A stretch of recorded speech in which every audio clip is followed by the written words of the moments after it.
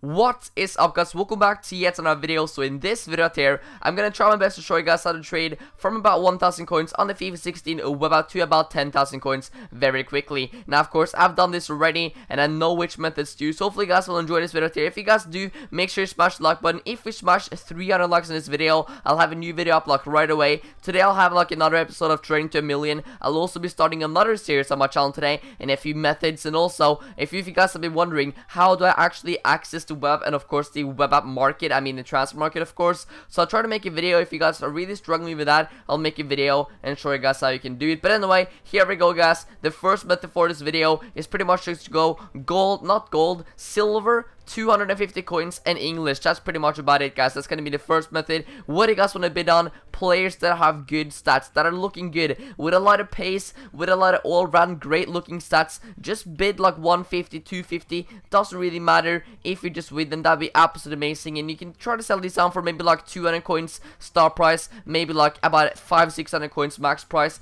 It really does indeed work pretty well at the beginning, especially a lot of people wants to buy these English players, so it always doesn't need work. This Wilson right there, as you guys can see. I actually won him for 300 coins and actually went and sold him for about 600 coins later on, which is very good. So that's going to be the first method. Just pretty much just type in silver, English, 250 coins, that's pretty much about it. Bid on the players that have good stats and of course try to sell them for a lot more. Method number two coming up right now. The next one right now is going to be a BPL trading method. As you guys can see right now, I'm, I'm just having a look here on the players that I'm actually winning from my previous method I just did. But what you guys want to do, go 250 coins and just go BPL and silver. At the beginning of the web, you always want to trade with silver cards. Not the best to trade with gold cards. It still works, but it's not as good as silver cards. Silver cards works insane and you want to trade with silver cards at the beginning of the game. Have a look at all these, pretty much just go 250 coins and BPL, and you can just scroll through all these as well, and make sure you guys bid on the players that have good looking stats. That's pretty much what you guys want to bid on right here. As you guys can see, right back there with 7-6 pace,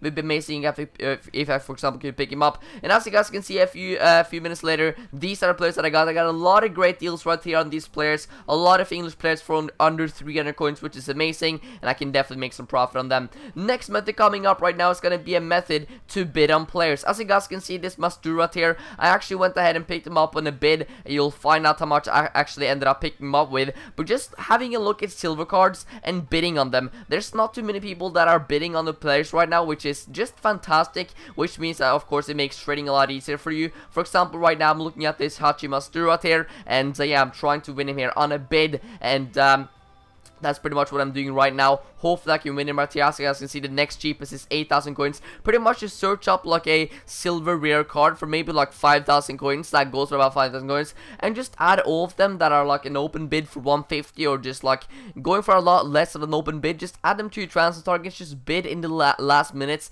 and you're going to be able to win them guys because there's not too many people that are focusing on the silver cards right now. And uh, that's pretty much what you guys want to do right there. Of course, it doesn't need work for gold players as well, but it doesn't work as good at the beginning of the game. As you guys can see, eventually I do indeed go and pick up this Hachim Mastour, which is absolutely amazing. And as you see right here, I picked him up indeed for how much did I actually pick him up here for? For 5,500 coins, I believe it was. Yeah, probably 5,500 coins. And I can tell you guys this right now. He didn't indeed go and sell after 12 hours, guys. Uh, first of all, there, I think I listed him up for about 3 hours. But right now, the next cheapest Hachim Mastour in the market is actually 9,000 coins. So I probably should have sold him for a bit more. But still, that's some nice coins right there, profits. And uh, yeah, yeah I, I didn't end up selling the first hour. But I relisted him for 12 hours. And of course, it didn't need to sell on overnight, which is absolutely amazing final method for this video today guys. Hopefully guys have enjoyed it so far. Make sure to subscribe if you guys are new around there. We're getting a lot of new subscribers in on the channel so let me know in the comment section which country and where you guys are from.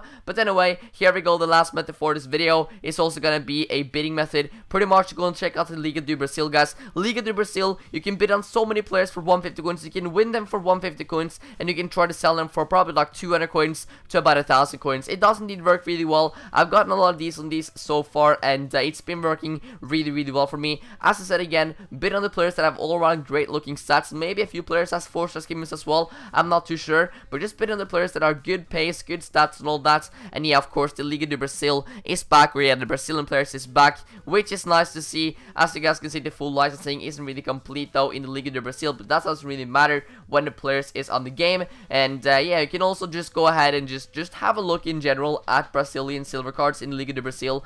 And you'll have a look. You pretty much just search them up and see how much the next one is. And you might get a buy now deal on them as well. But as you guys can see, I do need end up winning these Brazilian players here that I bid on for 150 coins. And I can try to sell them on for pretty much 200 coins to 1000 coins. Anyway, guys, thank you so much for watching this video. Hopefully, you guys enjoyed it. 300 likes for a new video. And yeah, I'll catch you guys all in the next one. Peace out.